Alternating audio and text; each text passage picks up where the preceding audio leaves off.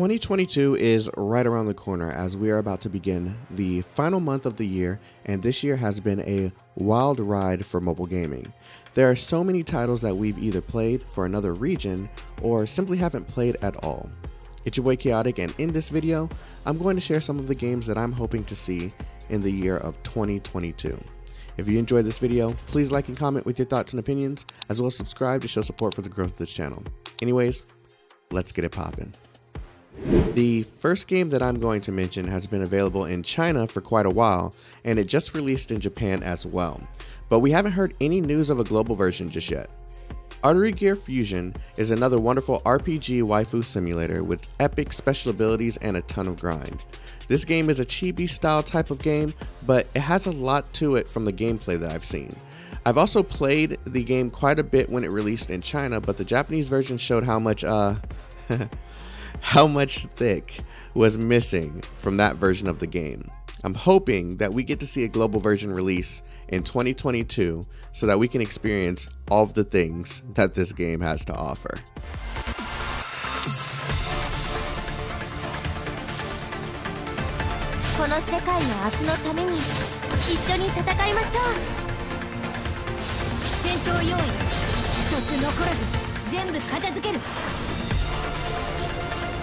弱者に戦う価値なんてない聞きません迅速に解決します覚悟せよあなたは私と一緒に世界を変えてくれますかアーテリーギア Now, this next game has yet to be released anywhere, but I have to admit, it has left quite the impression on me.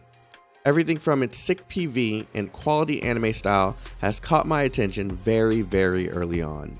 Currently under the temporary title Project Nightingale, this game is as anime as it gets. It appears that this PV has a bit of gameplay, but there's no way to actually tell what kind of game it is just yet. I'm actually hoping that we'll either see more or get the chance to play this game in 2022, as it appears that it's an XCOM like game or maybe even an ATB styled RPG, but who knows? All I know is this game is freaking beautiful. Sacrifice myself 次が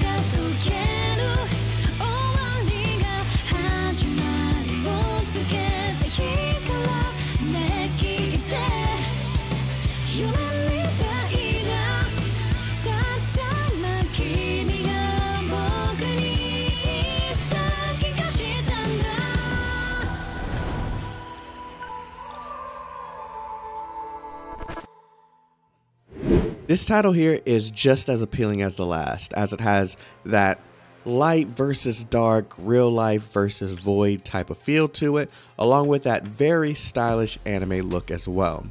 Currently under the temporary name Project Arisal, this game seems to be targeting those who are fans of the ATB active turn-based battle system. With gameplay shown off earlier this year and promotional materials starting to show up on Bilibili, it's starting to appear as if this game will show up in 2022. So fingers crossed that we also receive a global version shortly after, if not at the same time.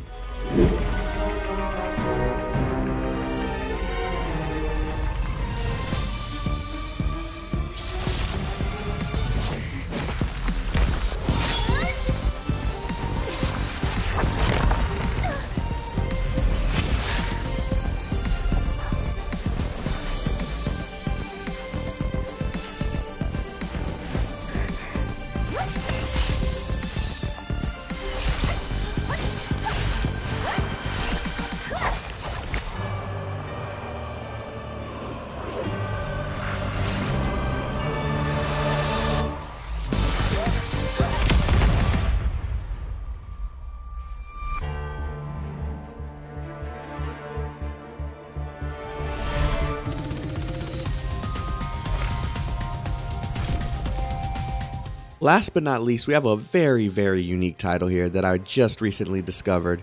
It's called Ring of Fire Prometheus, and it's one of those action RPGs that remind me of older titles such as Secret of Mana, but with a more modern combat style associated with it.